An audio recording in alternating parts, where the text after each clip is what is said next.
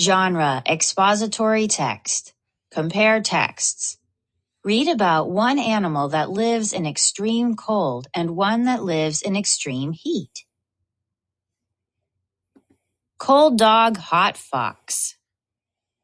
There is a very cold place in Asia. It is called Siberia. The climate there is harsh. In winter, the temperature is far below freezing. The wind is strong.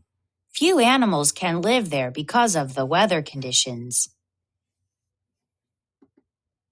Siberian Husky The Siberian Husky is a kind of dog.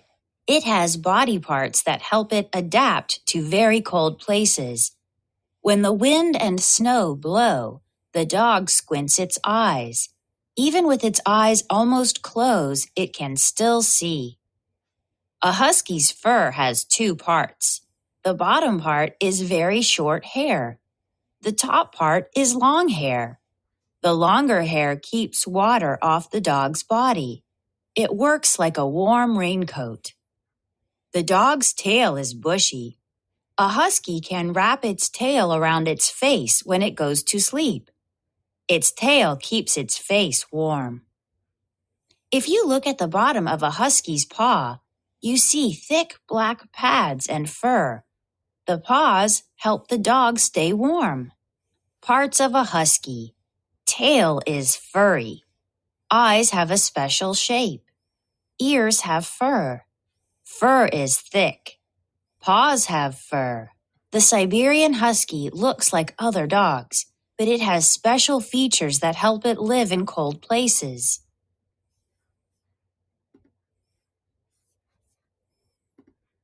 Life in the heat. The Sahara Desert is in Africa. Summers there are very hot and dry. Few animals can live there.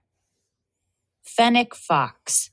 A fennec fox has body parts that help it live in the hot, dry desert. The fox has big ears.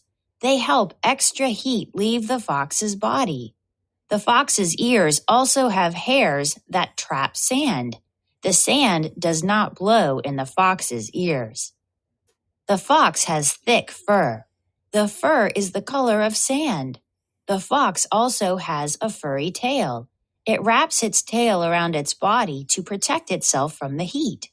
A fennec fox is nocturnal. It sleeps during the day. It eats at night. The fox's feet have hair on the bottom. The hair protects the fox's feet from the hot sand. The fox also uses its feet as a tool. It digs holes in the ground and stays in the hole during the day. The fox comes out at night when it is cooler.